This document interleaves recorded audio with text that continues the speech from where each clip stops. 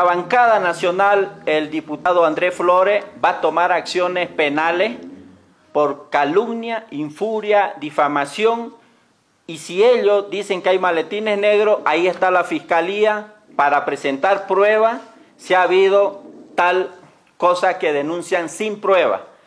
Nosotros como diputados no vamos a adherir a la demanda penal que está haciendo nuestro jefe de bancada y todas las bancadas nos vamos a adherir a procesar a esos diputados que estén difamando, calumniando cuando no muestran absolutamente pruebas.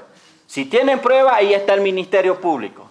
Si no la tienen, van a ser citados por calumnia, infuria y difamación que va a formalizar nuestro jefe de bancada. Queremos llamar a los senadores patriotas que piensen en la patria, que no piensen en su bolsillo ni reciban instrucciones Atrás hay una mano negra.